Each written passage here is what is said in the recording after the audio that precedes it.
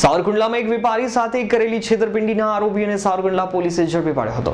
સાવરકુંડલાના market yard ખાતે નિલેશભાઈ દોશી નામના વેપારી ચણાનો વેપાર કરતા હોય અને રાજકોટના ત્રણ વ્યક્તિઓએ ચણાના વેપારી પાસેથી બે વખત ચણાની ખરીદી કરીને વિશ્વાસ કેળવી ભરોસો મેળવીને ત્રીજી વખત સોળ હજાર પચાસ કિલો કિંમત રૂપિયા નવ લાખ બાવીસ હજાર ત્રણસો ચૌદના ચણા મોકલતા, માલનું પેમેન્ટ નહીં મોકલતા સાવરકુંડલાના વેપારીએ હિતેશ ઉર્ફે મિતેશ કોયાણી, હિતેશ દેસરાજભાઈ સોરઠિયા રાજન પટેલ રાજકોટવાળા વિરુદ્ધ છેતરપિંડીની ફરિયાદ નોંધાવી હતી જેના આરોપીને સાવરકુંડલા ટાઉન પોલીસે ઝડપી લઈ. વધુ તપાસ Savarkundla ટાઉનના police head constable Mahavirsinh Jadeja ચલાવી રહ્યા છે.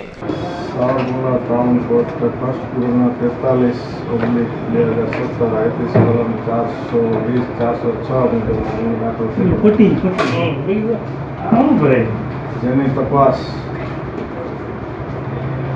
નો કરતા હોય પીઆઈ શ્રી સીજે દેવસ્વામી સાહેબના સુપરવિઝન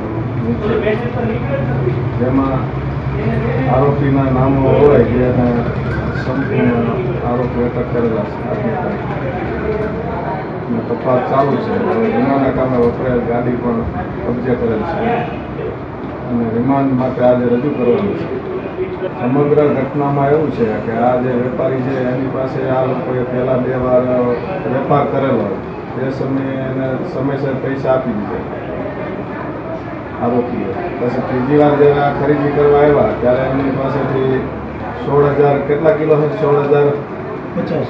પચાસ કિલો શેણા ખરીદેલા કિંમત રૂપિયા નવ લાખ બાવીસ હજાર ત્રણસો અને ચૌદ અને એને એવું કીધેલું ગાડી સાથે તમે આવો અને મેં અમે પૈસા ચૂકવી દેશો પણ પછી લોકોએ એને કીધું કે આજે રવિવાર છે.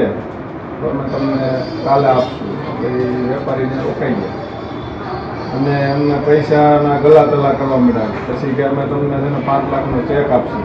એમને સમય વિતાવતા ગયા આ આ ફરિયાદ પછી છેલ્લે એમને સાઉથના ટાઉન કોર્ટ સ્ટેશનમાં ફરિયાદ દાખલ કરાવે. અને એ તપાસ ચાલુ યોગેશ ઉનડકટનો રિપોર્ટ, સાવરકુંડલા.